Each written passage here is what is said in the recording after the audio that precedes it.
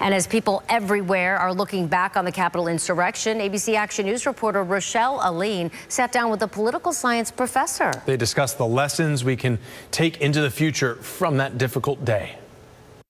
I remember it like it was yesterday, unfortunately. In the year since the 2021 Capitol insurrection, U.S. Representative Kathy Castor says one thought has brought her comfort. America is resilient and strong. The insurrection uh, was not successful. But even a year later, events across the Bay Area show that there's still a divide when it comes to people's perception of that day and what led up to it. Peter, P E T E R, Bergerson. Bergerson, a political science professor at Florida Gulf Coast University, says close elections have a tendency to raise concerns about the voting process. In 1960, the election of president between President Kennedy and Vice President uh, Richard Nixon uh, was also a very contentious election, as as the election of 2000 was. That it was very contentious. But he adds that 2020 was different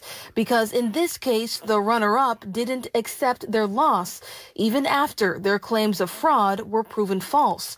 And he says that this is key in preventing another event like what we saw a year ago. Well, the number one lesson I think would be for the, uh, losing party, regardless of whether it's a Republican or a Democrat, uh, to come together and be united. And when it comes to concerns about the voting process, Bergerson says supervisors of elections will have to do more to educate people on how they run elections and on the accuracy of past ballot counts. More focus on the, at least here in Florida, on the role of the 67 supervisors of elections. In Tampa, Rochelle Alleyne, ABC Action News.